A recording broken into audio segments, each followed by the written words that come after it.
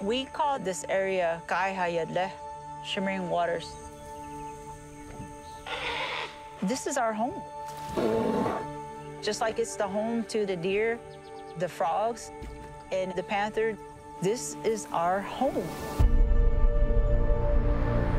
This is the number one cause of death, right? Vehicle collision is number one. In the last two weeks, we have three. We're going to reach a threshold, or maybe we're already there for this little piece of land that's left for them. Florida panthers once roamed the entire southeast, now mostly confined to just a small region along the Gulf of Mexico. These animals are like ghosts. It's so hard to show the story. And you have to show people to create that connection, that love.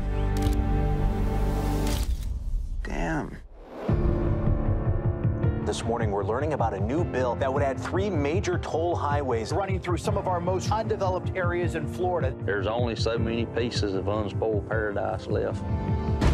It's been before my lifetime since the last female panther was documented north of the river. Here's some nice tracks. If we can show the world who that panther is, that's going to be the spark to save this whole corridor. Now we've got a category five. The only population of Florida panthers occurs right where this hurricane is going to come through. There's so much disappointment. Then there's this image of hope. If a big python gets me, will you come rescue me? I'll film it.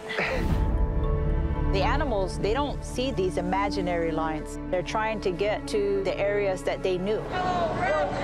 What this group's ultimately doing is deciding the future of wild Florida. To have new generations of panthers being born here will bring this system back into balance. This is it. This is nature's last stand. Somehow it's still here, like a seed waiting to be replanted. The panther is showing us that it's not too late.